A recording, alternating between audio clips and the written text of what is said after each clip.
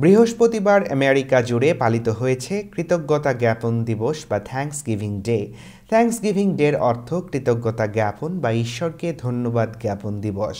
প্রতি বছর নভেম্বর মাসের চতুর্থ বা শেষ বৃহস্পতিবার সরকারিভাবে থ্যাংকস গিভিং ডে উদযাপন করা হয়।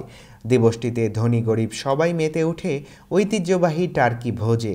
পারিবারিকভাবে প্রতিটি ঘরেই টার্কি দিয়েই চলে দুপুর ও রাতের খাবারের ব্যবস্থা। এবারের থ্যাঙ্কস গিভিং ডেতে তেত্রিশ কোটি সাঁত্রিশ লাখ মানুষের জন্য বিরানব্বই কোটি সত্তর লাখ ডলার মূল্যের টার্কি বিক্রি হয়েছে, যা গত বছরের তুলনায় চোদ্দ বিলিয়ন চল্লিশ লাখ ডলার বেশি। ন্যাশনাল টার্কি ফেডারেশনের তথ্য অনুসারে থ্যাঙ্কস গিভিংয়ে শতকরা আটাশি শতাংশ আমেরিকানের ঘরেই টার্কি দিয়ে দুপুর ও রাতের খাবারের ব্যবস্থা হয়ে থাকে। গত বছর করোনা মহামারীতেও উনত্রিশ কোটি বিশ লাখ আমেরিকান এ বার্ষিক ভোজ উপভোগ করতে সমবেত হয়েছিল।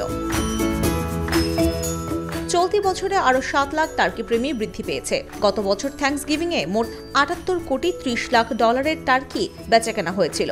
এবছর চোদ্দ কোটি চল্লিশ লাখ বৃদ্ধি পেয়ে মোট বিরানব্বই কোটি সত্তর লাখ ডলারের টার্কি বেচাকেনা হয়েছে। গত বছরের তুলনায় এবারে থ্যাঙ্কস গিভিংয়ে টার্কির প্রতি পাউন্ড মূল্য কিছুটা বৃদ্ধি পেয়েছে। এবার ষোলো পাউন্ড টার্কি বিক্রি হয়েছে বিশ দশমিক এক পাঁচ ডলারে।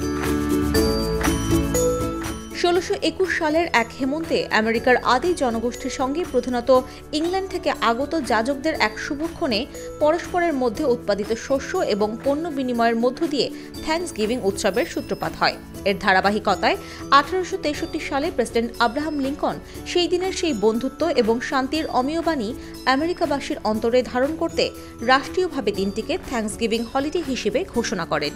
সেই থেকে প্রতি বছর বন্ধুত্ব ও সংহতি প্রকাশের ঐতিহাসিক প্রেক্ষাপটকে স্মরণীয় বরণীয় করে তুলতে নানা আয়োজনে মেতে ওঠে সমগ্র আমেরিকা।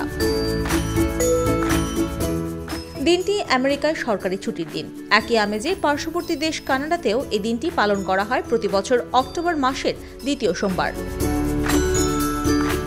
থ্যাঙ্কস গিভিং ডের পরের দিনকে ব্ল্যাক ফ্রাইডে বলা হয়ে থাকে। এই দিনের জন্য মানুষের অপেক্ষার কমতি নেই। এক বছর ধরেই অপেক্ষার প্রহর গুনতে থাকে আমেরিকার দুই তৃতীয়াংশ মানুষ। এই দিনে অনেকের চাহিদা ইলেকট্রনিক্স দ্রব্যে। এর মধ্যে TV, fridge, laptop, computer, iPhone, iPad ইত্যাদি দ্রব্যের প্রতি মানুষের চাহিদা বেশি।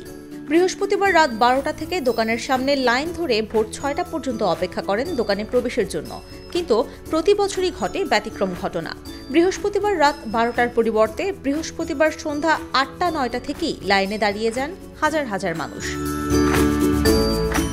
আশা আসান বাংলা চ্যানেল নিউজ ডেস্ক।